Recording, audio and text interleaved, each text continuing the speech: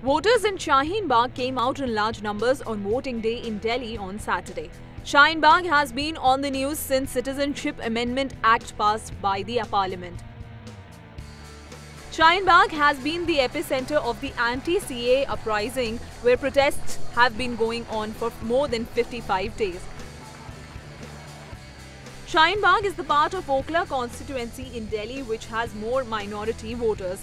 All five polling stations in Shaheen Bagh have been declared critical by Delhi's chief electoral officer. Delhi today votes for the 70 assembly constituencies, results of which will be announced on 11th February 2020. News Desk.